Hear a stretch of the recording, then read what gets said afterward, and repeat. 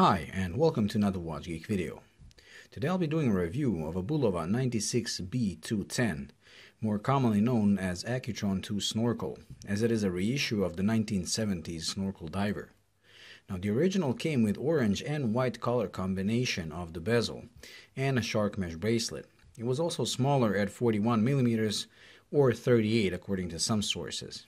Now although the reissue could also be had in orange and white, I went for this, the black and red, because I wanted to get the coffin bracelet this version comes with, as I'm not a huge fan of the shark mesh.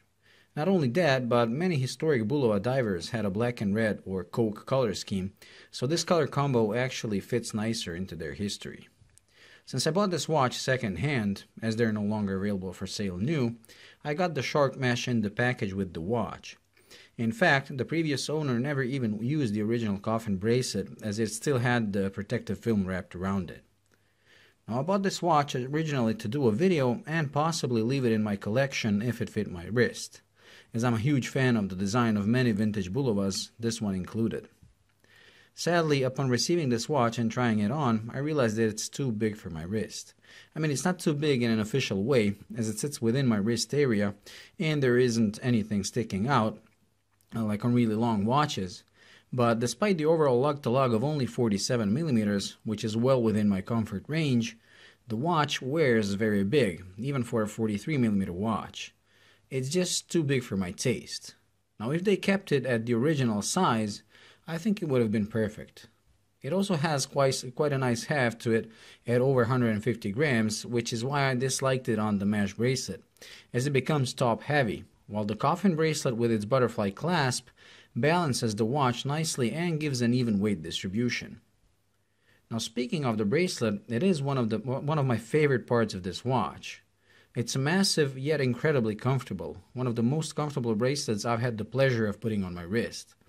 It has a beautiful drape and is also wonderfully made with solid links, solid end links, and a machined butterfly clasp, that's finished to high polish and features a laser etched Bulova logo. This is one of the highest end bracelets I have seen on a relatively affordable watch. And speaking of butterfly clasp, I just wanted to show you how to properly open and close one, as I often see people on YouTube doing reviews of watches with butterfly clasps and they struggle putting them on the wrist. So they will go and do something like this. Put the watch on the wrist, then turn the wrist around, and now they pull one side but the other is hanging and they have to pull the watch up and it always looks like they're pinching their skin while doing it. It's even funnier when they open the clasp as they turn the watch like this and press the release button and the watch just flies downwards very often hitting the table underneath. You just hear this thump and it always cracks me up. Now, some people dislike butterfly clasps because of this, while the truth is, they're the easiest to open and close of all the clasps if done correctly. So, to properly put a watch on with a butterfly clasp, you put it on while your wrist is like this. And then, without turning your wrist, you start pushing the middle of the clasp with your index finger towards your wrist, and the clasp starts to close evenly on both sides like a bomber plane hatch. As it gets close to your index finger, you take the two sides with your middle finger and your thumb while pulling the index finger out of the way and close the clasp completely. It's as simple as that. So no pinching, no pulling, and very easy and fast once you get used to that. So let's do it again, only faster, the way you would do it after getting used to it. And there, as you can see, it's very smooth and fast. Now when removing, you follow the same principle. So you don't turn your wrist around, as then pressing the release buttons will make the weight of the watch pull on the clasp, making it violently open, with the watch hitting any obstacle in its way. Instead, hold your wrist with the watch pointing upwards, just like when we were closing it, and simply press the release. It will open the clasp, but the watch stays on your wrist and now you just remove it. As simple as that. Well, I hope at least someone finds this useful. Now moving on, the case despite being too big for me is wonderfully styled. It's an almost exact copy of the 1970s model and I really like it. It features linear brushing on the top and the sides with this nicely polished bevel in between. The watch features two crowns with the lower one being both a screw down and signed with Bulova logo. That one is used to set the date and time and the watch does have a quick set date function. meaning that pulling the crown to the first click allows you to change the date, while pulling it to the second stops the movement so you can set up the time. The upper crown is not a screw down, nor is it signed, and I like that as it's used to operate the internal rotating bezel.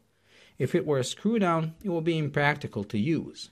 And not being signed clearly distinguishes it uh, so you know it's in a way less important than the main crown, which is why that one is signed. Now, despite not being a screw down crown, the watch comes with a 200 meter water resistance, and I haven't had a single accidental movement of the bezel while wearing the watch, meaning that the resistance of the bezel is just right, not too tight but also not too loose. The bezel features a colored portion for the first 20 minutes, which is slightly different than the original as that had the first 15 minutes colored. Now the watch comes with a mineral crystal, which for the initial price Bulova was asking for these watches, which was I believe around $550, is not acceptable. It should have come with a sapphire, especially since the bezel in, is internal, meaning it cannot get scratched nor cracked. So if they opted for a sapphire, the watch would have looked flawless for years. But at least there's a slight dome that adds to the vintage look, and although I prefer flat crystals because of the increased legibility, on this watch, the dome works and looks great. The dial is black, relatively simple, and the text is kept to a bare minimum, which is something I love. It's very legible and the marker's design matches the hands. The hands are the same as on the original and are nice and long, with the only difference being that the second hand has the tuning fork symbol as a counterbalance. All in all, a well executed design that I really have nothing bad to say about. The date is at 3 o'clock and done in white, which I think was made to resemble the original from 1970s, although that one had both dates and day of the week. Now, to be honest, I prefer this layout as it just works better with the dial. And the lume is okay, but nothing to write home about. Now, one can argue that the hands and markers are thin and lume area is relatively small, which leads to just an average lume performance, but the fact is that my SNX 111 has almost the same lume area as this, and yet its lume is a lot stronger and lasts longer. So I wish they borrowed some lume from Seiko for this. On the plus side, the bezel triangle and the Bulova logo are both lumed, which does look cool when you can see them.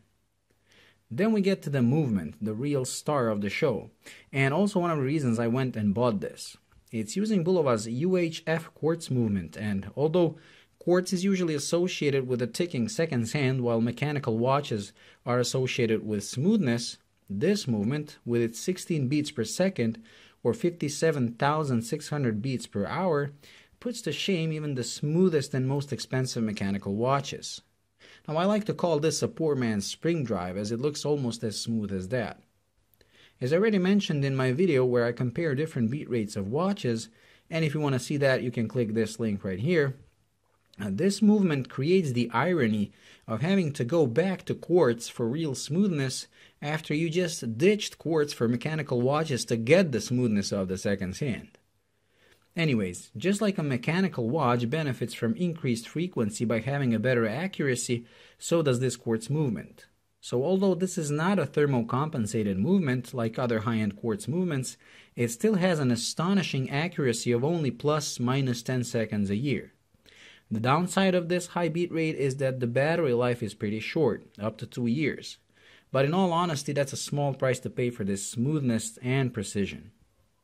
Now, in conclusion, I think this is an incredibly well executed reissue of a legendary design, made even more interesting with the UHF movement ruined only by the big size, at least when it comes to small wristed people like me. Now, in the last couple of years, someone at Bulova realized people like how their watches used to look, which made them start reintroducing legendary designs, from their moon watch and astronaut model to the chronograph C, Space View, and this. Now, they're unfortunately all too big compared to their original inspirations, but even that is a step in the right direction, especially compared to what they were making just under a decade ago with the hideous and oversized Precisionist line. Now, Bulova has so many other incredibly designed watches in their historical catalogs that I really can't wait to see what they bring back next. But until then, I will be browsing the web for their vintage pieces as they were perfect in every way possible, especially their Devil Diver, the Oceanographer 666, that I plan on adding to my collection in the course of the next year. Well, this pretty much concludes the review, so thank you for watching. I hope you enjoyed. If you did, please like and subscribe by pressing this button right here. And until the next video, bye.